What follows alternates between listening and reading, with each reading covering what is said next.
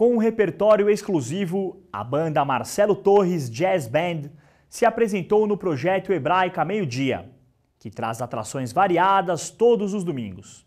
Veja como foi. A Hebraica recebeu uma das bandas de jazz mais conceituadas do cenário brasileiro, a Marcelo Torres Jazz Band, com o show What is Jazz, que destaca a história de um dos mais conceituados estilos da música negra. Adorei o convite, né? Fizemos aqui dois anos atrás.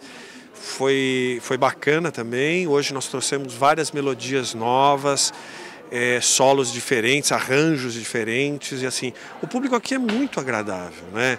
É, a apresentação no teatro é sempre muito gostosa porque as pessoas param para prestar atenção, curtem cada momento, cada solo. Eu acho que a gente teve isso aqui, até esticamos um pouco o show porque estava muito receptivo, né? Liderada pelo trompetista Marcelo Torres, a Jazz Band vem ganhando destaque na noite paulistana com interpretações de clássicos do jazz tradicional.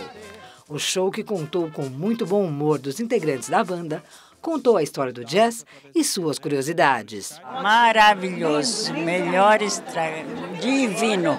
Divino. Gostou das músicas? Muito, muito. É nosso tempo e mesmo que fosse atual seria maravilhoso, incrível. Eu diria que foi o melhor show que eu assisti aqui na Hebraica ao meio-dia. Precisa dizer mais?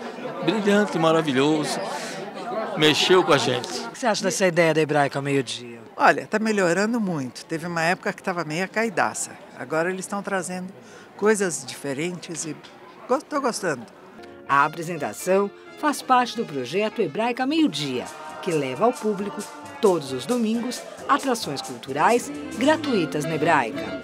A gente ter bastante público, público a gente faz um programa variado, música brasileira, jazz, música judaica, um pouco de tudo. E hoje foi uma aula, na verdade, de jazz é, com Marcelo Torres, esse músico sensacional, que deu umas explicações bárbaras de, de, de, da origem dessa música, que todo mundo gosta, são temas conhecidos, é, que todo mundo conhece e curte muito, e foi uma qualidade sensacional, muito gostoso, um programa muito legal.